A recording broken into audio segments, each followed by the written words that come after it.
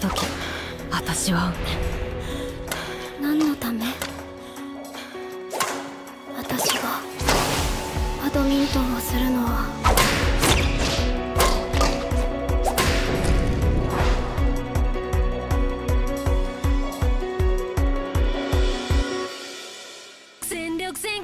私バドミントンなんてやらないから。頑張れば世界だって目指せんだぞ。たかがスポーツですよね。お母さんなんて勝つためには練習するしかないじゃん。私たち天才じゃないんだから。努力するしかないでしょ。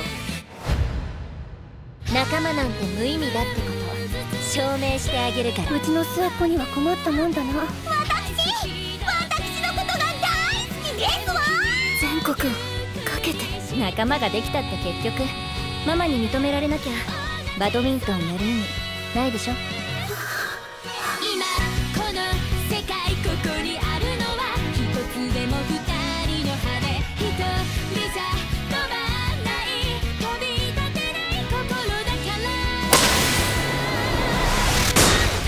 テレビアニメ「羽ばだ」